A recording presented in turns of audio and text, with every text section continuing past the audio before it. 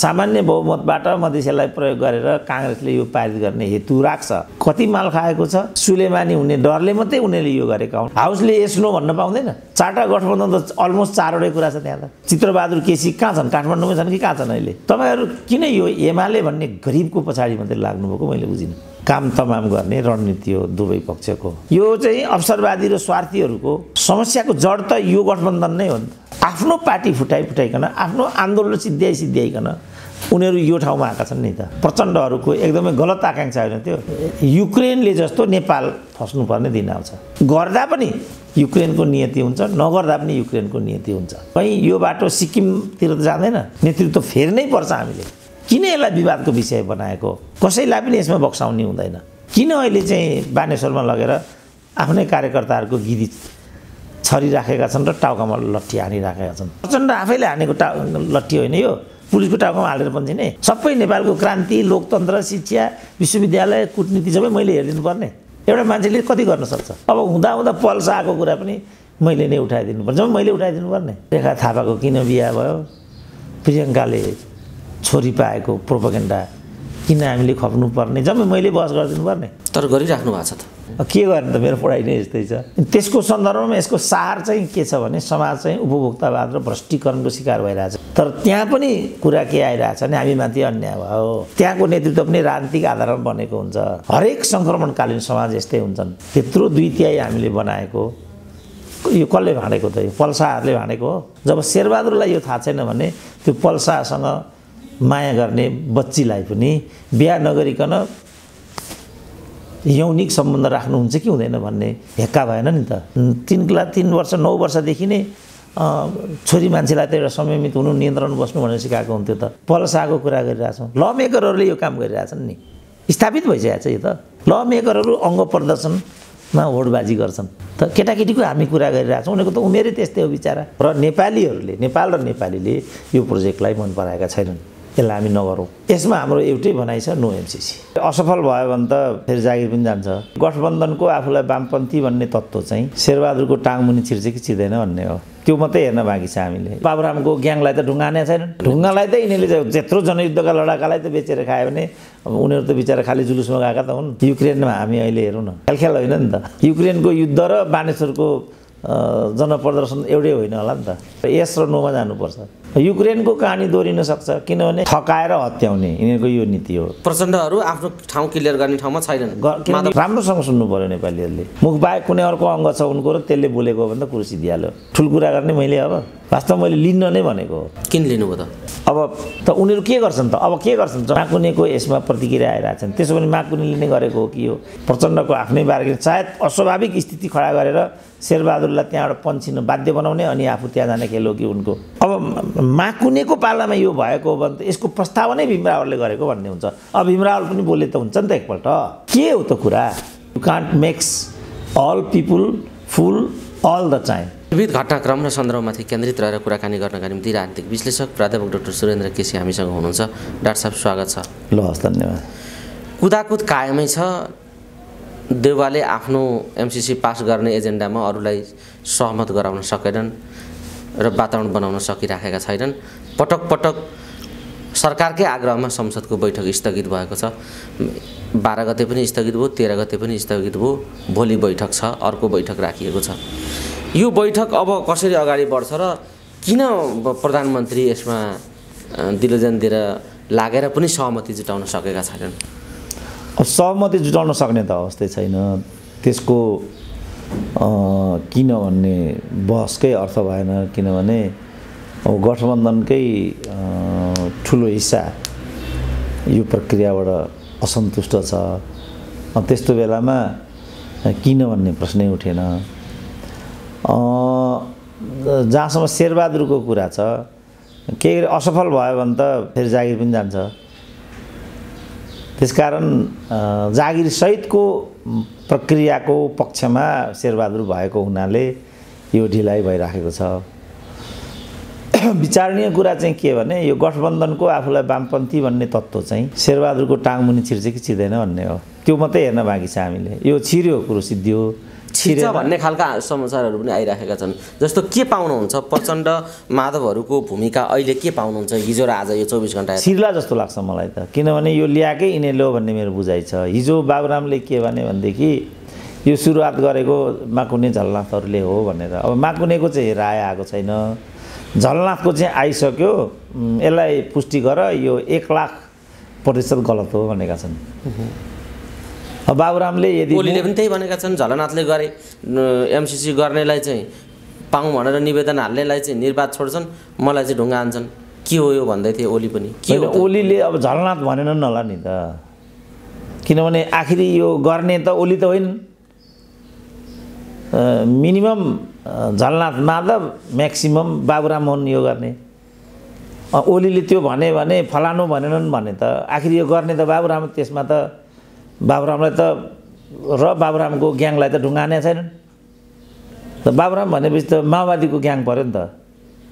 अनि उद्धार लगाएर हिँडिरहेछ अनि ढुङ्गा किन? होइन तल ढुङ्गा हान्ने पुलिसलाई ढुङ्गा हान्ने नारा पनि लाउने फेरि देउबाकै टाङमुनि छिरेर एमसिसी पनि गर्ने हो भने प्रचण्ड र माधवको रोल त अहिले पनि दोहोरै छ भन्ने हो। त्यसो भए? होइन उनीहरू त अब यसलाई फोरफारक गरौँ। यो दोहोरो हो कि होइन उनीहरू कुनैकै दलले भन्नुहोस् न। किनभने आखिर त त्यो दल होला नि त। दलभित्र व्यवस्थित विचार विमर्श हुँदैन कमिटी प्रणाली हुँदैन माओवादीभित्र। यो त उनीहरूको लागि गम्भीर विषय हो नि। किनभने यसो गर्दै गर्दै अन्तत हुनुबाट एमसिसी गर्नेपट्टि जाने जस्तो देख्छु म। अनि त्यो त्यो भयो भने लिलामणि देव गुरुङ अ, नारायण काजीहरू कहाँ हुन्छन् त? ती ढुङ्गा हान्नेहरू कहाँ हुन्छन् जुलुसमा आउने भन्ने। ढुङ्गालाई त यिनीहरूले त्यत्रो जनयुद्धका लडाकालाई त बेचेर खायो भने अब उनीहरू त बिचरा खालि जुलुसमा गएका त हुन्। जनयुद्धमा त मर्ने मार्ने नै कुरा हुन्थ्यो नि त। हतियार बोकेर जानु पर्थ्यो तिनलाई त फिजल आउट गरिदियो भने त्यो त एउटा प्रदर्शन मात्रै हो। प्रदर्शन त दिउँसोभरि गरिन्छ बेलुका घर गइन्छ। तर जनयुद्धमा त मैदानमै डटेर बस्नु पऱ्यो नि त। शत्रु सेनाले कति बेला हान्ने हो केही ठेगान्दैन युक्रेनमा हामी अहिले हेरौँ न। ख्याल होइन नि त। युक्रेनको युद्ध र बानेश्वरको जनप्रदर्शन एउटै होइन होला नि त। त्यहाँ त आज पनि मान्छे मऱ्यो भोलि पनि मान्छे मऱ्यो भनेर त हामीले सुनेको छैन। जुन कुरा जनयुद्धको बेला सुन्थ्यौँ हामी। त्यो र योमा त फरक छ नि त। त त किन यिनीहरू चाहिँ यतिमै पनि किन यिनीहरू यस्तो किसिमको हरकत गरिराखेका छन् भन्ने कुरा हो र यस र नोमा जानुपर्छ। यसरी खेलखाल गरेर एउटा बार्गेनिङ चिप्सको विषय बनाउनु हुँदैन। सत्ता ग्यारेन्टी हुने भयो भने एमसिसी त के देशै बेच्ने कुरा पनि चल्छ। सत्ता ग्यारेन्टी नहुने भयो भने देश बेच्ने कुरा त के? एउटा घडेरी पनि हुँदैन। भनेपछि त यो त धेरै नै अशोभनीय तरिका भयो नि त। त्यसमा डिबेट आउनु पर्यो। डाक्टर साहब यसको इफेक्ट के हुन्छ अब? यो जुन अकर्मण्यताका बिच राजनीति अहिले गिजलिएको स्थिति छ यसबाट अब यसका इफेक्टहरू के हुन सक्छन् डाक्टर साहब अब? युक्रेनको कहानी दोहोरिन सक्छ किनभने युक्रेनको युक्रेन नेतृत्वको अपरिपक्वताले गर्दाखेरि आज युक्रेन चाहिँ इराकको अफगानिस्तानको कोपमा फस्न पुग्यो नि त। अब यहाँ पनि एमसिसी जुनसुकै कारणले विकास परियोजनाकै रूपमा आउने भए पनि अब यो चिनको विरुद्ध लक्षित भएर आउने भन्ने एक खालको मनोवैज्ञानिक सन्तास चाहिँ व्याप्त भयो व्याप्त भयो उनीहरू पनि बोलेका बोलै छन् त्यो व्याप्त भयो अब। अब त्यो होइन भने पनि अब आउने प्रोजेक्ट चाहिँ त्यसैको लागि भन्ने एउटा मनोविज्ञान नेपालीहरूले बनाइसके। अब भनेपछि हामी त पराधीन मानसिकताबाट खडा हुन बाध्य हुने भयौँ। किनभने एमसिसी विवादास्पद भन्ने कुरा छ। त्यो चाहिँ ग्रान्ट होइन इन्भेस्टमेन्ट हो भन्ने कुरा भयो। त्यसको चाहिँ पेटेन्ट राइट नेपाललाई छैन भन्ने भयो। असीमित समयसम्म भन्ने भयो। र कानुनी झैझगडा झमेला भयो भने नेपालको कानुन त्यहाँ प्रयुक्त हुँदैन भन्ने भयो। अनि एमसिसीको व्याख्या त धेरै आइसके त्यतातिर नजाउँ। तर एउटा एउटा इफेक्ट मैले भनेको यो पोलिटिकल जुन खालको अहिलेको क्राइसिस नेपालमा तयार भयो यो अरू बेलाभन्दा अरू बढी जटिल रूपमा यो अप्ठ्यारोतिर अगाडि बढिराखेको छ भन्ने देखिन्छ। किनभने प्रधानमन्त्री कुदेका छन् गृहमन्त्री कुदेका छन् कानुन मन्त्री कुदेका छन् निकास निस्किँदैन। सबैले आफ्नो च्याखे थापेर यो विषयलाई अगाडि बढिराखेका छन्। राजनीतिको राष्ट्रिय राजनीतिलाई सही दिशा दिने सहमति गर्ने या निकास दिनेतिर कसैको पनि सोच पुगेको देखिँदैन भनेपछि अब कस्तो खालको क्राइसिस तयार हुँदैछ भन्ने खालको कुरा मैले डाक्टरसँग राखेँ होइन त्यो त सामान्य नै स्थिति छ नि किनभने यिनीहरूले थकाएर हत्याउने यिनीहरूको यो नीति हो। मैले अघि यसमा प्रष्ट पारेँ नि लेफ्टिस्टहरूले चाहिँ आफ्नो पोजिसन यसमा क्लियर गर्नुपर्छ। र उनीहरू त्यो गर्न सक्ने ठाउँमा छैनन् मैले अघि भने। किनभने यो गरेकै उनीहरूले छ। प्रचण्डहरू आफ्नो ठाउँ क्लियर गर्ने ठाउँमा छैनन्। यो- यो यो काङ्ग्रेसले गरे होइन नि त यो। राम्रोसँग सुन्नु पऱ्यो नेपालीहरूले। यो काङ्ग्रेसले गरेको प्रोजेक्ट होइन यो। अब बाबुरामको कुरा मान्ने भने यो गरेको माधव कुमार र झलनाथले हो। अब चौबिस घन्टामा झलनाथले चाहिँ म छुइनँ यसमा भनेका छन्। अब यदि बाबुरामले त्यो मुखले बोलेको हो भने डकुमेन्ट दिनु पऱ्यो के आधारमा उनले यो बोलेका हुन्? यदि मुखले बोलेको हो भने। मुख बाहेक कुनै अर्को अङ्ग छ उनको र त्यसले बोलेको हो भने त कुरो सिद्धिहाल्यो कतिचोटि ग्यास फालिन्छ कतिचोटि फोहोर फालिन्छ त्यसको केही हिसाब हुँदैन। तर यसले बोलेको त हरेक हिसाब काम जस्तो म बोलिरहेको छु हरेक मान्छेले हिसाब गरे हुन्छ नि। तपाईँले यहाँ यस्तो बोल्नुभयो यस्तो गर्नुभयो यहाँ यस्तो बोल्नुभयो यस्तो गर्नुभयो। अस्ति मैले राष्ट्रपतिको हातबाट सम्मान लिएँ नि त। लिन्न भन्नुभएको थियो। कसरी लिनुभयो त भन्यो नि एउटा मान्छेले मलाई। ठुल कुरा गर्ने मैले अब। वास्तवमा मैले लिन्न नै भनेको हो। किन लिनुभयो त? अब आयोजक संस्थाले आफ्नो प्रतिष्ठानमा त्यो कार्यक्रम प्रमुख अतिथि राष्ट्रपतिले बनाइदियो गर्छौँ भनेका थिए। को प्रमुख अतिथि लिने कि नलिने भन्ने कुरा अब लिन्छु भने मैले। लिन्छु भनिहालेँ। पछि त्यो कार्यक्रम उनले त्यहाँभित्र लगेर हालिदिएँ। त्यसो भने लिन्न भन्नु मोरली ठिक होइन जस्तो लाग्यो मलाई। मैले लिँदेँ। तर मेरो बोली सुनिरहेको थियो एउटा मान्छेले। के हो डाक्टर साहब यो भनिदियो। चुप लागेँ म अब। तर यिनीहरू चुप लाग्नुपर्छ भन्नेपट्टि यिनीहरू हुँदैन। जे मैले गरेँ त्यही सही हो भन्नेपट्टि यिनीहरू हुन्छन्। जस्तो जनयुद्ध गरेँ त्यही ठिक हो। जनयुद्ध रोके त्यही ठिक हो। संसदीय व्यवस्था चाहिँ खसीको मासु राखेर सबै कुरा विघटन गरे त्यो पनि ठिकै भयो। हो, अब जे अब उनीहरू उनीहरू जे गरे त्यो। संसदीय व्यवस्थामा गए ठिकै भयो। ठिकै भयो। म- छोडेर मधेसवादीमा गए ठिकै ठिकै छ। अब पार्टी फुटाएर कता लाग्छन् त्यो त्यो ठिकै पनि। ठिकै हो। अब हिजो जस्तो जस्तो भनौँ न हिजो चाहिँ पार्टी फुटाउनेलाई चाहिँ नुन चोक लाएर खाडलमा गाड्नुपर्छ भन्थे वामदेव पछि आफैले फुटाए। कत्रो मिहिनेत गरेर चाहिँ माधव कुमार नेपालले एमाले गठन गरे। एकताका कत्रा बखानहरू गाए। पछि उनैले एमाले फुटाइदिए। अब हामीले यही कुरालाई हो भन्दै हिँड्नुपर्ने हामी त्यो सकिन्छ। अब मैले त्यही इतिहासबाट शिक्षा लिएँ। सिक्ने कोसिस गर टफ कमजोरी हुन्छ भने त उनीहरू के गर्छन् त? अब के गर्छन्? जस्तो माकुनेको त कुरा आएको छैन यसमा बाबुनामले भनेअनुसार उनीहरूले अगाडि बढाएको प्रक्रियालाई मैले थप गति दिएको मात्रै हुँ भनिरहेछ। अब झलनाथले होइन भने अब बाबुरामले यो भनेको कुरामा सच्चाइ छ भनेदेखि यसको तथ्य के हो त? तुरुन्तै लिएर आउनु पऱ्यो माकुनेको यसमा प्रतिक्रिया आइरहेछन् त्यसो भने माकुनीले नै गरेको हो कि हो यदि माकुनीले गरेको भने यो दोष फेरि भीमरावलसँग गएर दोष जोडिन्छ। अब भीमरावलले के भन्ने हुन्? यसरी जान्छ नि त समस्या त। डाक्टर साहब अब यो समस्या मात्रै अगाडि जान्छ कि समाधान पनि छ यसको? होइन समाधान त सिम्पल छ नि। हाउसमा लानु। मैले धेरैचोटि भनिसकेँ। यो चाहिँ समाधानहीन प्रश्न होइन यो। किनभने अमेरिका यो समाधानहीन प्रश्न हो जस्तो गरेर यहाँ प्रस्तुत गरिदिए नि त नेताहरूले।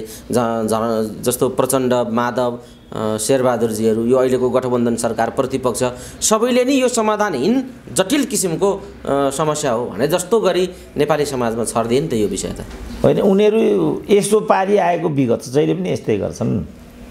शान्ति प्रक्रिया पनि निरूपण हुँदैन भने जस्तो कुरा गर्थे माओवादी पनि हुँदैन भने जस्तो कुरा गर्थे देश पनि रहँदैन भने जस्तो कुरामा म आफै पनि बहकिएँ कति समय? नागरिकताको समस्या कहिले समाधान हुँदैन भन्थे यो आजै भारतले खायो भोलि नै भारत खायो तराइसक्यो। हामी सबैले भने हो कि होइन? केही केही पनि कुरा त भएन यहाँ त। त्यसकारण यो गरिगरिकन यिनीहरूले आफ्नो सत्ताको खेल गरेको रहेछ भन्ने कुरा अब प्रष्ट भयो। यहाँ पनि त्यही हो। यो मोलतोल बार्गेनिङको कुरा हो। प्रचण्डको आफ्नै बार्गेनिङ सायद अस्वाभाविक स्थिति खडा गरेर शेरबहादुरलाई त्यहाँबाट पन्छिन बाध्य बनाउने अनि आफू त्यहाँ जाने खेल हो कि उनको। उता केपीसँग पनि गरे जस्तो गर्ने शेरबहादुर पनि घरि बालुवाटार पुग्ने अनि बा केपी पनि घरि बालुवाटार पुग्ने घरि पोखरा पुग्ने। यो जुन यिनीहरूको यो चाहिँ के भने यो गलाएर हत्याउने यिनीहरूको ट्याक्टिस जस्तो बुझिन्छ। तर यो इस्यु चाहिँ गलाएर हत्याउने उनीहरूको खेल उनीहरूको हातमा मात्रै सीमित भइरहने यो खेलको रूपमा छैन। किनभने आखिर त यस र जानुपर्छ। यस र जाने बित्तिकै जुन जनमानस चाहिँ उर्लेर आइराखेको छ जो चाहिँ एमसिसीको तीव्र विरोधी छ त्यो मासलाई चाहिँ भोलि कसरी सम्झाउने त? त्यस कारण मैले भने यो कर्ता प्रष्ट नभइकन एमसिसीको डिबेटमा सम्झाउनु भयो भने फसिन्छ है साथी हो भन्ने मेरो तर्क यहाँ हो। अब अहिले आयो नि त उनीहरू नेर आएको थियो। हामी बाबुरामबाट मात्रै अगाडि बढिरहेको थियौँ। अब बाबुरामले अझ उता लगेर यो चाहिँ झलनाथ र माधव नेपाल भए ठाउँमा पुर्यायो यो गर्ने बित्तिकै फेरि भीमरावल जोडिन्छन् यहाँ चर्को विरोधीमा भीमरावल भए होइन? अब भीमरावल यसपछि केपीको क्याबिनेटमा त उनी आफै मिनिस्टर छन्। अब माकुनेको पालामा यो भएको हो भने त यसको प्रस्तावनै भीमरावलले गरेको भन्ने हुन्छ। अब भीमरावल पनि बोले त हुन्छ नि त एकपल्ट। के हो त कुरा? अब हाम्रो त कस्तो भने पुष्पलाललाई चाहिँ गद्दार पुष्पलाल लेखेर हिँडे मोहन विक्रम। आरोप के थियो भने काङ्ग्रेससँग सहकार्य गरे। अब अहिले त्यही गद्दार पुष्पलाल लेख्नेको काङ्ग्रेससँगै गठबन्धन छ त। गद्दार मोहन विक्रम हो कि त्यसो भने? चित्रबहादुर के भन्छन् त? यो त ढाँट्ने छल्ने यो सधैँभरिलाई हुँदैन केही हो अमेरिकी उखानले भनेको जस्तो। केही मानिसलाई सधैँभरि गरे पनि सबै मान्छेलाई सधैँभरि चाहिँ मूर्ख बनाउन सकिँदैन। You can't makes all people fool all the time some people all time all time few people but not all the time all the people make fool तर यहाँ त सधैँभरि मूर्ख बनाउन सकिन्छ भन्ने सिद्धान्तबाट अघि बढिराखेका छन् नि त प्रचण्ड शेरबहादुरहरू त। त्यस्तै देखिन्छ किन जनयुद्ध बेच्दा पनि केही भएन। अहिले यति बबन्डर खडा गर्दा पनि केही भएन। राष्ट्रको भूमिका र कुटनैतिक सम्बन्धलाई नै दाउमा राखेर मुनपरी चिठी लेख्दै हिँड्दा पनि केही हुँदैन। उहाँहरूलाई केही पनि हुँदैन। सबै कुरा उहाँहरू त्यति गर्दा पनि क्रान्तिकारी र देशभक्त नै भइराख्नु भएको छ। भनेपछि त यो नेपाल चाहिँ त्यो उखानभन्दा त्यो सत्यभन्दा फरक खालको स्थितिमा पुगेको हो नेपाली जनचेतना? अनि यहाँ पनि अल टाइम अल पिपुल होला जस्तो लाग्दैन मलाई। अहिले पनि त प्रचण्डले एमसिसी विरोधी हुन् प्रचण्ड प्रचण्डले गर्दा रोकियो भनेर ढुङ्गा हानिराखेका छन् त कार्यकर्ता। फेरि सत्य हो त त्यो कुरा। त्यो पटक्कै होइन फेरि गरिदियो भने नि त। त्यसपछि के भन्छन् त? All the time all the people त भएन नि। आखिरी एमसिसीमा वारको पार त हुनैपर्छ यिनीहरूले। अब भोलि के हुन्छ डाक्टर साहब? भोलि भोलिको खेलो के हुन्छ? सरकारकै आग्रहमा फेरि स्थगित हुन्छ। कि अब यसले निकास लिन्छ? अब सोह्र गते भइसक्यो। सोह्र गते समय सीमा छ भन्ने सुन्छु अमेरिकाको। फेरि अमेरिकाले चाहिँ समय सीमा बढाइदियो भने त प्रचण्डकै कारणले साम्राज्यवाद चाहिँ समय सीमा बढाउनु बाध्य भयो भन्छन् तिन महिना त खान्छन् खान्छन् फेरि। महान प्रचण्डले गर्दा साम्राज्यवादलाई गलाइदिनु भयो। फेरि भन्- भन्ने पनि भन्छन्। अब यसलाई मैले नियति भन्न थालेको छु केही समयदेखि। यो हाम्रो नियति हो यसलाई हामीले झेल्नुपर्छ कुनै उपाय छैन। भोलि भोलि के हुन्छ होला तपाईँको विचारमा? मेरो विचारमा भोलि उनीहरूले यसलाई एमसिसीको पक्षमा किनेर लगाउनु पर्ने हो। मेरो ब्रह्मले चाहिँ त्यो भन्छ। किन? यिनीहरूले नै यो गरेको प्रोजेक्ट हुनाले उनीहरू भनेपछि माधव प्रचण्डले नै एमसिसीको पक्षमा भोट हालेर गठबन्धन टिकाउने र सरकार अगाडि बढाउने एमसिसी पास गर्ने यही काम गर्छन् अब भोट हाल्छन् कि प्रपञ्च खडा गर्छन्? जस्तो मेरो विचारमा केपी ओली त्यहाँबाट वेल घेरेको घेरै गर्छन्। मुर्दाबाद मुर्दाबाद हाम्रो माग पुरा गर भनिरहन्छ माधव प्रचण्ड बाहिरिन्छन्। सामान्य बहुमतबाट मधेसीलाई प्रयोग गरेर काङ्ग्रेसले यो पारित गर्ने हेतु राख्छ। प्रश्न आयो अग्नि सापकोटा के गर्छन्? त्यही नै माओवादीको निर्णायक ठाउँ हुन्छ। ध्वनि मतबाट पास भयो भन्ने यिनीहरूको नाटक हुन्थ्यो। अब अहिले त ध्वनि मतबाट भएको हुनाले समर्थन आएको हुनाले पारित भयो भनेर त अग्नि सापकोटालाई नि बोल्नुपर्छ। त्यो भनेको त माओवादीको पार्टी कार्यालय पर्यो। उम्किने ठाउँ केही पनि छैन। खालि यति एउटा चान्स छ बा माओवादीले यो कलङ्क आफ्नो शिरमा लिन उपयुक्त ठान्दैन कि? त्यो सानो झिनो सम्भावना चाहिँ छ जसले गर्दा एमसिसी या त पारित नहुने होइन भने भोलि निर्णायक हुन नसक्ने सानो सम्भावना चाहिँ छ अन्यथा यो अगाडि बढ्छ। भनेपछि प्रचण्ड माधवहरूको विरोध गराई एमसिसीको विरोध गराई के हो भन्ने कुराको पनि भोलि किनेर लाग्छ त्यसो भए। प्रक्रिया अगाडि बढ किनभने उनीहरूले इसारा नगरी अग्निले पनि त्यो गर्दैनन्। उनीहरू बाहिर जानु अग्निले पढेर सुनाउनुको बिचमा ठुलो सम्बन्ध हुन्छ। त्यस कारण मैले चाहिँ के भनेको छु भने यो गरेको यिनीहरूले नै हो। यसमा उनीहरू ख हुनुपर्छ। खालि कति माल खाएको छ कि सुलेमानी हुने डरले मात्रै उनीहरूले यो गरेका हुन्। जस्तो झलनाथले मूर्खहरूले चलाएको यो प्रोपोगेन्डा हो। एक लाख गुणा यसमा म सम्हाल्नु छैन। छ भने त्यसको डकुमेन्ट ल्याउनुपर्छ भनेको छन् झलनाथले अब यसलाई अहिले चुनौती मानिराखौँ न। माधव नेपालले त एक शब्द पनि बोलाएको छैनन्। त्यसो भने माधव नेपालका पालामा यो अगाडि बढेको छ कि? म के भन्न खोज्दैछु भने यो एमसिसी चाहिँ यिनीहरूले मागेको। मागेर दिएको अमेरिकाले। यिनीहरूले निवेदन हाले हामीलाई एउटा प्रोजेक्ट देऊ भनेर। अमेरिकाले सम्पूर्ण जाँच पडताल गरेर ल भनेर यो दिने सूचना यिनीहरूलाई दिएपछि कर्मचारीहरूले चाहिँ औपचारिक पत्राचार कार्य प्रक्रिया थाले। र एकपछि अर्को सरकारहरूले यसलाई अगाडि बढाउँदै बढाउँदै अन्तत यहाँसम्म विषय आइपुग्यो।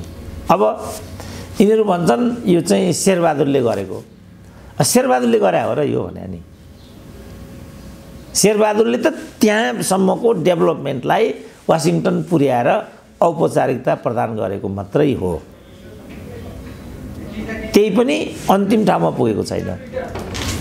यदि यसको पक्षमा होइन भनेर भनेदेखि हाउसबाट चाहिँ नो भन्ने कुर्सी दिइहाल्यो नि। यो के ठुलो कुरा छ र भने हाउसले यस नो भन्न पाउँदैन। त्यो भन्ने आँटै गरेन नि त। त्यहाँ त सबै एक्सपोज हुनु पऱ्यो को पक्ष को विपक्ष देखिनु पऱ्यो सबै मुचिएका छन्। अब त्यहाँ के गर्ने भन्ने कुराकै सङ्कट होला यो। भन्ने एउटा छ भने अर्को निर्वाचन आउँदैछ। कस को सत्तामा बसेर निर्वाचन गर्ने? भोलि पत्ता साफ हुने डरको कुरा पनि हो भन्ने खालको एउटा वृत्तमा चर्चा पनि छ। तर यस विषयमा नेकपा एमाले किन ठोस बन्न सकिराखेको छैन भन्ने विषय पनि छ। होइन उसले त गठबन्धन एक भएर आओस् पहिला भनिरहेछ नि त। किन एक बन्न गठबन्धन एक भएर आउँदैन त? हामी प्रतिपक्ष हौँ। गठबन्धन एक भएपछि हाम्रो तर्फबाट आइडिया लिएर आउँछौँ भनिसकेपछि एमालेको त म एकदम स्पष्ट अडान देख्छु त। गठबन्धन चारवटाको एउटा गठबन्धन हो यो। चारवटा गठबन्धन त अलमोस्ट चारवटै कुरा छ त्यहाँ त। अब अर्थमन्त्री एकातिर छन्। प्रचण्ड एक शब्द बोल्दैनन्। देव गुरुङको एउटा भोइस सुन्छौँ हामी। चित्रबहादुर केसी कहाँ छन्? काठमाडौँमै छन् कि कहाँ छन् अहिले? एक शब्द सुनिँदैन। अब रामकुमारी झाँक्रीहरू एउटा कुरा भन्छन् उनको पार्टीले तिनवटा निर्णय गर्यो अरे भन्ने सुनिन्छ। तपाईँहरू किन यो एमाले भन्ने गरिबको पछाडि मात्रै लाग्नुभएको? मैले बुझिनँ। होइन होइन। एमालेका पछाडि त शेरबहादुर लागिसक्नुभयो नि त। बार्दलीमा गएको गई हुनुहुन्छ। के हो त यो बार बार्दलीको कथा भन्ने कुरा चाहिँ क्लियर आएन। किन धाउनुहुन्छ उहाँ? किन उहाँलाई यो गठबन्धन घाँडो भयो भने गठबन्धन छोड्न किन नसकेको? प्रचण्डहरूलाई एमसिसी विरोधी हुन् भने यो छोड्न किन नसकेको? यो अकर्मण्यता गठबन्धन र नेपाली काङ्ग्रेसको नेतृत्वलाई किन र बार्दलीमा पुग्नुपर्ने पटक पटक उहाँहरू त्यता धाइदिएपछि हामीलाई बहस गर्न बाध्यता भयो डाक्टर साहब। होइन उसको त प्रश्न छ। ऊ त सरकार पक्ष हो। सरकार पक्षले त कसरी आफ्नो प्रस्तावलाई पारित गराउने भन्ने उसको धर्म नै हो। अब हिम्मत गरे पनि नगरे पनि गठबन्धनबाट तिमीहरूलाई निकालिदिएँ भन्न सक्नु पर्ने कि नपर्ने शेरबहादुरले भन्ने चाहिँ एउटा प्रश्न बन्यो। किनभने आखिरी शेरबहादुरलाई प्रधानमन्त्री बनाएको त प्रचण्डले नै हो गठबन्धनले नै हो। उनी पनि लाचार छन् नि। त्यस कारण मैले पहिल्यै भने यो सरकार काङ्ग्रेसको पनि होइन देउपाको पनि होइन प्रचण्डको हो। जब यो सरकार प्रचण्डको हो भने त प्रचण्डको इसारामा यो सरकारले काम गर्नु पर्यो नि त। प्रचण्डहरूले एउटा कुरा किन उठाइरहेछन् त्यो चाहिँ मलाई रहस्यपूर्ण लागेको छ। त्यो के भने कमन मिनिमम प्रोग्राममा नभएको एजेन्डा लिएर प्रधानमन्त्री किन यसरी बकेर राखेका त्यस्तो अवस्थामा हामी तपाईँलाई गठबन्धनको नेताको रूपबाट विस्थापित गरेर प्रमुख प्रतिपक्षसँग मिलेर अगाडि जान सक्छौँ चाहिँ किन भन्न नसकेको? यसमा चाहिँ मलाई आश्चर्य लागेको छ। तर त्यो भन्न नसक्नु त क्लियर छ उहाँले पत्र लेखिसक्नुभयो त। गठबन्धनको कार्यक्रममै नभएका कुरामा शेरबहादुरसँग लागेर उहाँले चिठी पत्र गर्नुभयो। अनेकौँ भित्री सम्झौताहरू गर्नुभएको छ भन्ने कुरा पनि छ। कति कुरा आउन बाँकी छ भन्ने कुरा छ। गठबन्धनको म्यान्डेटभन्दा बाहिर त शेरबहादुर जति अहिले गइरहेका छन् त्यति नै प्रचण्ड गइसकेको हुनाले शेरबहादुर ह्याकुलाले पेलेर यसो गरिराखेका छन् भन्ने कुरा सार्वजनिक रूपमा आइराखेकै छ नि डाक्टर साहब होइन भन्न पऱ्यो नि त। त्यो चिठीमा त प्रचण्डको त्यो कुरा छैन। उनले त राष्ट्रिय सहमति गरेर हामी यो गर्छौँ मात्रै भनेको छ उनले त्यहाँ। प्रचण्डले त बाटो बिराएकै छैन त्यहाँ। त्यो चिठीमा त्यो कुरा पनि छ। राष्ट्रिय सहमति गराएर हामी एमसिसी गर्छौँ भनेको छ त्यहाँ। चार पाँच महिनाको समय चाहियो त्यति चाहियो। गर्छौँ। अब- प्रयोग गर्छौँ। बस सबै कुरा हो त्यो भनेको छ गरेर र पास गर्छौँ अब अब राष्ट्रिय सहमति हुन सकेन। त्यसकारण यो भइराखेको छैन भन्ने कुरा प्रष्टै छ। खालि पाँच महिनाको कुरा चाहिँ खोइ त भन्ने प्रश्न चाहिँ यहाँ आकर्षित हुन्छ। शेरबहादुरले तपाईँले पाँच महिना भन्नुभएको हुनाले मैले पाँच महिना पर्खेँ। तपाईँ पाँच महिना उल्लङ्घन गर्ने भने म अन्यथा लाग्न बाध्य हुन्छु। भन्नु पऱ्यो नि त शेरबहादुरले पनि। उनले पनि त्यो भनेको छैन। त्यस कारण मलाई के लागेको भने यो चाहिँ थकाएर काम तमाम गर्ने रणनीति हो दुवै पक्षको। अब ऊ पनि बारदली जाने ऊ पनि बारदली जान सक्छु भन्ने। उसले पनि उसलाई नै देखाउने उसले पनि उसले नै देखाउने। यो खेल देख्छु यहाँभित्र म। अब यो विषय कसरी अगाडि जान्छ त? यो गठबन्धन रहन्छ कि सकिन्छ भन्ने कुरा नै अन्यल भयो क्या? यो गठबन्धन एउटा घाँडो भयो एमसिसी अर्को घाँडो भयो भन्ने खालको स्थिति आयो क्या अहिले?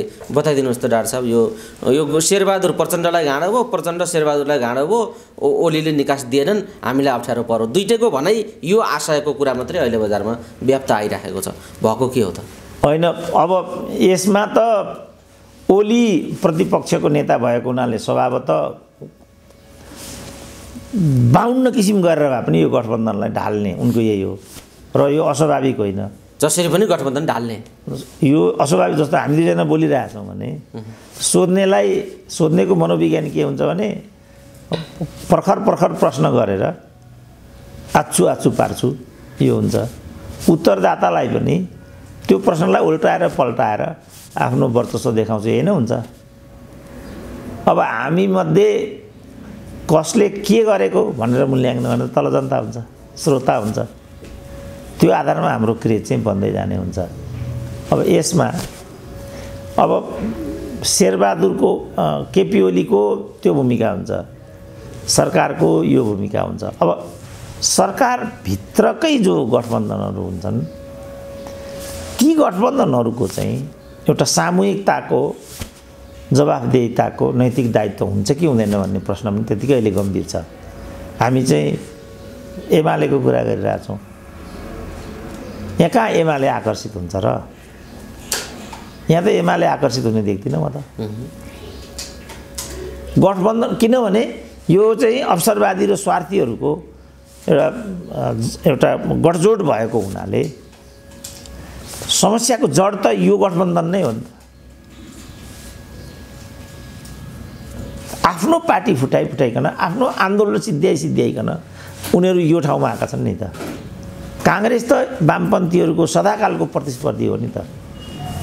त्यही प्रतिस्पर्धीसँग सहकार्य गरेर लक्ष्यमा पुग्ने भन्ने आकाङ्क्षा प्रचण्डहरूको एकदमै गलत आकाङ्क्षा होइन त्यो। त्यो आकाङ्क्षाले त यो नियति बिहोर्नु अनिवार्य थियो बिहोर्यो। जहाँसम्म एमसिसीको कुरा छ यसमा मैले के भनेको छु भने यो चाहिँ गरेको यिनीहरूले नै हो। र यिनीहरू यो गर्न बाध्य हुन्छन्। यदि नगर्ने हो भने त्यसको चाहिँ कोपमा युक्रेनले जस्तो नेपाल फस्नुपर्ने दिन आउँछ। गर्दा पनि युक्रेनको नियति हुन्छ नगर्दा पनि युक्रेनको नियति हुन्छ। त्यसकारण अब हामीले नेतृत्वसँग प्रश्न उठाउनुपर्छ। तिमीले हामीलाई किन युक्रेनको नियति बिहोर्न बाध्य बनायो? कहीँ यो बाटो सिक्किमतिर त जाँदैन। त्यसकारण यो नेतृत्व नै सम्पूर्ण राजनीतिकको असफलताको जड हो। नेतृत्व फेर्नै पर्छ हामीले। यहाँ हामी केन्द्रित हुनुपर्छ। एमसिसी हुने नहुने भन्ने कुरा एकदमै गौण भन्छ। यदि यो नेतृत्व नेतृत्व हो भने नेपाली जनताले एमसिसी नो भनेको छ यसलाई आउटराइट नो भन्नुपर्छ। जहाँसम्म यसको विधिको कुरा हो हाउसमा लाने। पूर्ण बहुमतबाट नो भनिदिने। हाउसले नो भन्न त पाउँछ होला नि त। हाउस भनेको रबर स्टाम्प हो र जहाँबाट जे जे प्रस्तावहरू आउँछन् सही छाप गर्दै जाने ठाउँ हो र हाउस भने। त्यो त सार्वभौम सत्ता सम्पन्न जनताका प्रतिनिधिहरूको थलो। थलो हो। भनिन्छ। त्यसले त जे पनि निर्णय गर्न पाउँछ नि त। किन यसलाई विवादको विषय बनाएको? त्यस कारण यो विवादको विषय बनाएर नै अर्काको स्वार्थ परिपक्व बनाइदिने प्रपञ्च अन्तर्गत यो त्यो त्यो ग्रान्ड डिजाइन अन्तर्गत यो सब भएको भन्ने मेरो बुझाइ छ। हामीले चनाखो भएर हेर्नु हेर्नुपर्ने छ कि यसमा कसको भूमिका के हो। कसैलाई पनि यसमा बक्साउने हुँदैन। काङ्ग्रेसलाई चाहिँ बक्साउने हुन्छ। काङ्ग्रेस यसमा सुस्पष्ट छ। बाबुराम पनि सुस्पष्ट छन्। तर वामपन्थीहरूको यसमा भूमिका के हो? उनीहरू के चाहन्छन् यसबाट? किन उनीहरूले एमसिसी गरे? किन अहिले चाहिँ बानेश्वरमा लगेर आफ्नै कार्यकर्ताहरूको गिरी छरिराखेका छन् र टाउकामा लट्ठी हानिराखेका छन्। प्रचण्ड आफैले हानेको टा लट्ठी होइन यो। पुलिसको टाउकामा हालेर पन्छिने किन यो काम उनीहरू गरिरहेछन् यो प्रश्न चाहिँ उनीहरूले सोध्ने मैले सोधिदिनु पर्ने जम्मैको प्रश्न। सबै नेपालको क्रान्ति लोकतन्त्र शिक्षा विश्वविद्यालय कुटनीति सबै मैले हेरिदिनु पर्ने। एउटा मान्छेले कति गर्न सक्छ? अब हुँदा हुँदा पल्स आएको कुरा पनि मैले नै उठाइदिनु पर्छ मैले उठाइदिनु पर्ने। रेखा थापाको किन बिहा भयो? प्रियङ्काले छोरी पाएको प्रोपगेन्डा किन हामीले खप्नु पर्ने जम्मै मैले बहस गरिदिनु पर्ने। हुँदैन यस्तो कुरा। एउटा मान्छेले सबै गर्न सक्दैन। तर गरिराख्नु भएको छ त। होइन अब नगरिदिएपछि त मैदान त खाली राख्न त भएन। विषयभन्दा बाहिर गएर यस्ता खालका विषयहरूमा चाहिँ डाक्टर साहब नबोले हुन्थ्यो भन्ने सुझाव पनि आउँछ जस्तो पल्साका कुरा काण्डका कुरा। यस्ता कुरामा डाक्टर साहब किन बोल्नुहुन्छ? यो नगरिदिए हुन्थ्यो आफ्नो विषयमा मात्रै डाक्टर साहबले विश्लेषण गरिदिए हुन्थ्यो राजनीतिलाई केन्द्रमा राखेर भनेर पनि मान्छेहरू तपाईँलाई त्यो सुझाव पनि राखिराखेका हुन्छन् कमेन्टमा। तपाईँ चाहिँ तीव्र रूपमा यसमा बोलिराख्नु भएको छ किन बोल्नु भएको? अब के छ भने म समाजशास्त्र के हो यो। तपाईँको? यसको यो यसको म समाजशास्त्र पढाउँछु। पर्यटन पढाउँछु सुरक्षा पढाउँछु। नाथममा चाहिँ ट्रेकिङ गाइड टुर्स गाइडलाई पढाउँछु। कुटनीति शास्त्र पढाउँछु। पोलिटिकल हिस्ट्री त मेरो विषय नै हो कम्युनिजममा पिएचडी नै गरेँ। के गर्ने त? मेरो पढाइ नै यस्तै छ। अरू जस्तो लिग्रिक लिग्रिक आफ्नो एउटा खण्डकाव्य महाकाव्य मात्रै पढाएर हिँड्ने भए हो। अब मेरो त्यो छैन। चाबेलमा पढाएँ म सोसियोलोजी पढाउँथेँ। नाथममा म टुरिज्म पढाउँछु। अब किर्तिपुरमा डिप्लोमेसी पढाउँछु। आर्मीमा गयो भने नेसनल डिफेन्स पढाउँछु। राष्ट्रिय सुरक्षा। पुलिसमा गयो शान्ति सुरक्षा पढाउँछु। सशस्त्रमा गयो सिमाना पढाउँछु। अनि के गर्ने त बाबु मेरो विषय क्षेत्र नै अलिकति विस्तृत छ। पत्रकारिताका विद्यार्थीहरूको पनि म गाइड सुप्रिन्टेन्डेन्ट टिचर हुँ गाइड गाइड हुँ म सुपरभाइज गर्छु म। डाक्टर साहब यो सबै कुरा कसरी सम्भव हो भन्ने कुरा त धेरैचोटि गरियो। तैपनि यो सबै कुरामा यसरी प्रस्तुत हुँदाखेरिको सजिलो र अप्ठ्यारो के रहेछ? अब अप्ठ्यारो त यी यस्तै प्रश्न आउँछ। सजिलो के छ भने म चाहिँ सबै समूहसँग घुलन मिलन हुन सकिरहेको हुन्छु। जस्तो अब अझ मैले यहाँ भन्न बिर्सेँ। अब त नेममा लोकसेवामा पढाएर हुन्छु म। सबै विषय पढाउँछु नि त। संहिता पढाउने मै हुँ राज्यको पुनः पढाउने मै हुँ सामाजिक न्याय पढाउने मै हुँ साधारण स्वर पढाउने मै हुँ लोकसेवाका प्रशस्त पुस्तकहरूमा मेरो सहलेखन छ। त्यसपछि यी विषयहरू काहीँ न काहीँ जोडिन्छन् उड्छन्। त्यसपछि आम मान्छेलाई के लाग्छ भने सायद सुरेन्द्र केसीले यसमा पनि अलिकति इनपुट दिन सक्ने हो कि भन्ने लाग्छ। प्रश्नहरू आउँछन्। म सकेको उत्तर दिन्छु। अब मिलेन यो यो सोसियोलोजीको दृष्टिकोणले नि डाक्टर साहब त्यो तपाईँको अध्ययनले हाम्रो समाज र हाम्रो परिवेश चाहिँ कता जाँदैछ अहिले? यो चाहिँ अब जस्तो जस्तो पल शाकै विषयमा पनि यस्ता यस्ता विषयहरू पनि धेरै आइरहेका छन्। समाजलाई यसले एक खालको तरङ्गित गरेको छ। वास्तवमा डाक्टर साहबले किन बोल्नुभयो भन्ने अरूको जिज्ञासा मैले सोधेको मात्रै हो। तर यो पेचिलो ढङ्गले यो अहिले एमसिसी र अन्य राजनीतिक विषयभन्दा बढी सञ्चार माध्यममा पल शाहको विषय आइराखेको हुँदा डाक्टर साहबलाई त्यो मान्छेले जिज्ञासा राख्नु स्वाभाविक हो। तर समाज कता कसरी जाँदैछ? के हुँदैछ हाम्रो समाज कतातिर लागेको छ डाक्टर साहब? के देख्नु अब यसको सारमा त्यसको सन्दर्भमा यसको सार अब लामो कुरा गर्न समय छैन। त्यसको सन्दर्भमा यसको सार चाहिँ के छ भने समाज चाहिँ उपभोक्तावाद र भ्रष्टीकरणको शिकार भइरहेछ। किन? यो सम्पूर्ण कुरालाई रेगुलेट गर्ने चाहिँ राजनीतिले हो। त्यो व्यवस्थित र प्रतिबद्ध नेतृत्व नभएपछि ऊ नै भ्रष्टीकरणको शिकार भइसकेपछि उत्पन्न हुने विषमता र सह सह उत्पादन हो यो। अब यहाँ चाहिँ हरेक ठाउँमा यस्तो छ। अब जस्तो अहिले चाहिँ सोसियल मिडियाको चलन आइराखेको छ विज्ञान र प्रविधिले हामीलाई थुप्रो सम्भावनाहरूलाई अवसर मञ्चहरूलाई निर्माण गरिदिएको छ। अब हामीले चाहिँ ती मञ्चहरूलाई सदुपयोग गर्नुको सट्टा तिनलाई दुरुपयोग गर्ने चाहिँ दुराशय हामीले विकास गऱ्यौँ। यो एक समयसम्म जान्छ यो चाहिँ सङ्क्रमण। अब अहिले त अनलाइन इत्यादिलाई पनि अब प्रेस काउन्सिल अगाडि आयो नि त। ख्याल ख्यालमा साथीहरू झ्यालमा परे कि परेन नि त। तर त्यहाँ पनि कुरा के आइरहेछ भने हामीमाथि अन्याय भयो। किनभने त्यहाँको नेतृत्व पनि राजनीतिक आधारमा बनेको हुन्छ। भनेपछि कसले फटाइ गरिरहेको हुन्छ र छ र कसले ठिक गरिरहेको हुन्छ भन्ने नै हामीले चाहिँ मानक बनाउन सकेका छैनौँ। त्यो मानकता स्थापित नभइसकेको हुनाले यो सङ्क्रमणकालीन बिन्दु हो। हरेक सङ्क्रमणकालीन समाज यस्तै हुन्छन्। हामीले गणतन्त्र चाहिँ ल्यायौँ तर गणतान्त्रिक आचरण र संस्कार अभ्यासद्वारा हामीले स्थापित गर्न सकेका छौँ जस्तो यही दुई तिहाई हामी पल्साहरूको कुरा गरिरहेछौँ त्यत्रो दुई तिहाई हामीले बनाएको यो कसले भाँडेको त यो? पल्साहरूले भाँडेको हो। थाहा छैन प्रचण्डलाई यो गर्नु गलत हो। थाहा छैन शेरबहादुरलाई म प्रमुख प्रतिपक्षको म्यान्डेट लिएर आएँ। अहिले प्रधानमन्त्री हुनु हुन्न भन्ने थाहा छैन। जब शेरबहादुरलाई यो थाहा छैन भने त्यो पल्सासँग माया गर्ने बच्चीलाई पनि बिहा नगरिकन यौनिक सम्बन्ध राख्नुहुन्छ कि हुँदैन भन्ने हेक्का भएन नि त। त्यसको बाई प्रडक्ट हो। हामीलाई त उहाँ बच्चा तिन क्लास तिन क्लास तिन वर्ष नौ वर्षदेखि नै छोरी मान्छेलाई त एउटा संयमित हुनु नियन्त्रण बस्नु भनेर सिकाएको हुन्थ्यो त।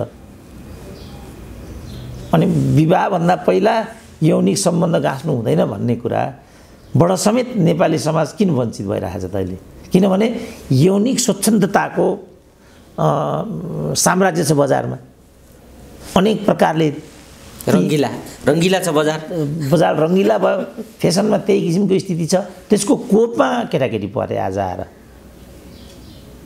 समाजशास्त्रीय एउटा वास्तविकताबाट हेर्दाखेरि चाहिँ वास्तविकताको आँखो सानो आँखी झ्यालबाट हेर्दाखेरि चाहिँ पर त्यो दृश्य देखा पर्छ। र यो सबै बिगार्नेमा चाहिँ नेतृत्व नै। नेतृत्वले को मान्छेलाई मन्त्री बनाउनु पर्ने?